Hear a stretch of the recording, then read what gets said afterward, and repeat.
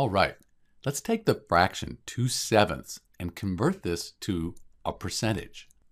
So what we're asking is 2 is what percent of 7? And here's how we do it. We're going to divide 2 by 7 to get a decimal. And then we're going to take that decimal and we're going to multiply that by 100.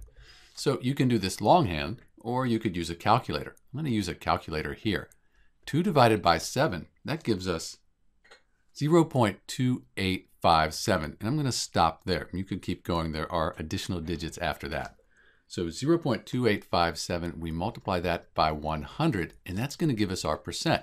So we multiply by 100, we get 28.57%.